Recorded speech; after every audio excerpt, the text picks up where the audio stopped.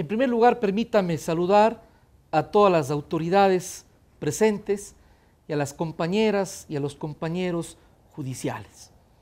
Hoy es un día especial y me permito dar un breve mensaje.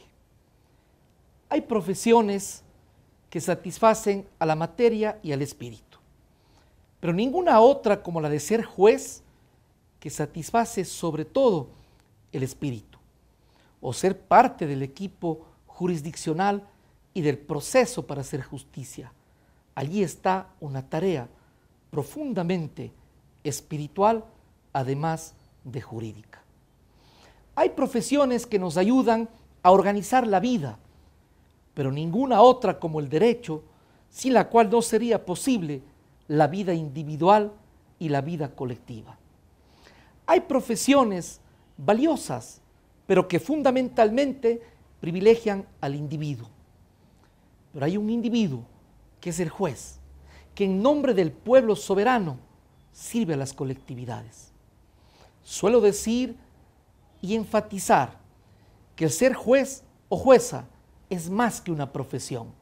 Es una suerte de apostolado por la libertad y la dignidad, por la paz y la armonía social, por la seguridad y la certidumbre jurídica y sobre todo por la justicia. No es una tarea de hoy, es de ayer, de un largo ayer y con toda seguridad del porvenir. Es decir, las juezas y los jueces de hoy, los funcionarios judiciales, somos herederos de una construcción permanente y milenaria. Por estas reflexiones que me permito hacer, constituye para mí un alto honor expresar estas palabras en el Día del Judicial. Saludarles, compañeras, compañeros, con respeto, con afecto. Pero algo más. Es una oportunidad para invitar a todas y a todos que nos mantengamos unidos y firmes por la defensa de la institucionalidad, la pasión por el servicio a la justicia desde la función judicial. Que en la cotidianeidad de nuestro trabajo y de nuestras decisiones no permitamos la impunidad en la lucha contra la corrupción y el crimen organizado.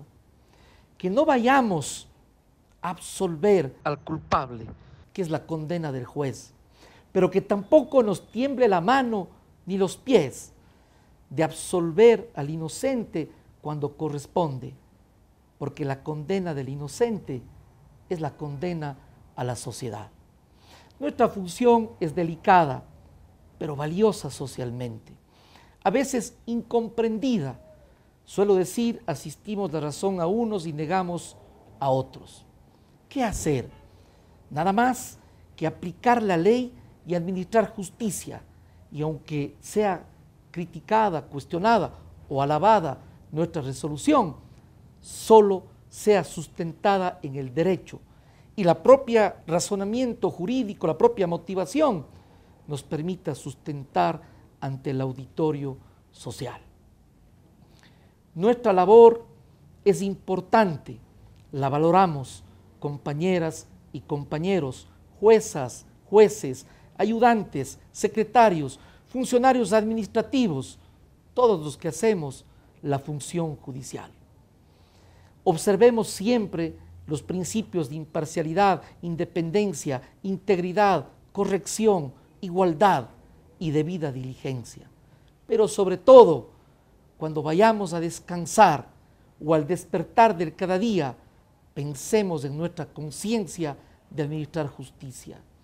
Y pensemos que hoy por hoy, en los conceptos actuales, el juez ya no es la boca por la que se expresan las palabras de la ley, sino es la voz de la justicia, que nace de nuestra interioridad y que nace de la aplicación recta y correcta de las leyes.